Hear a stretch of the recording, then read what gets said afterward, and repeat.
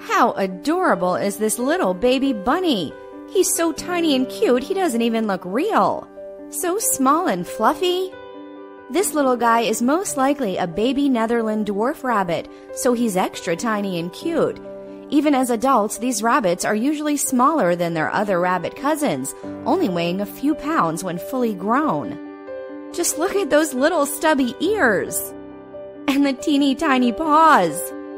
These fluffy little guys are only two weeks old and are just too cute. I'll take all of them.